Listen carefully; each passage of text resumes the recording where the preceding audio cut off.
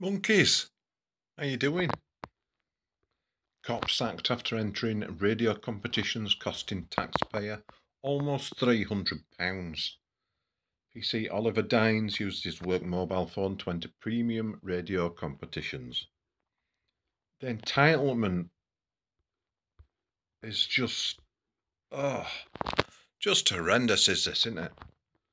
That this is even happening. A student cop who used his work mobile phone to enter a string of radio contests has been sacked.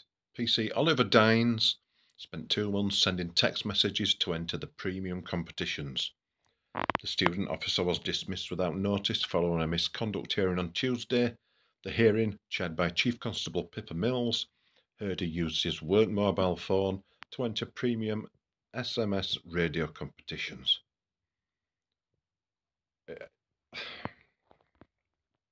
Speechless. Absolutely gobsmacked. This is just just sums up the entitlement of these people. Numerous competition entries were submitted between June 1st and August 23rd last year, costing West Mercia Police £255.46. pence.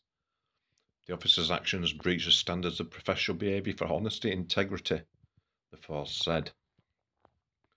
Chief Constable Mills said it would have been clear that every entry to the competition was at the taxpayer's expense, totaling more than £255.46.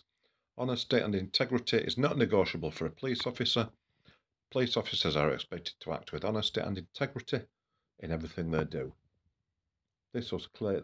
This was clearly lacking in PC Dines' behaviour. I am committed to taking whatever action is needed to make sure West Mercia, Mercia Police is a force to be proud of. I think that might be uh, stretching You cannot fix stupid, can you? And why would he even think he'd get away with that? That is.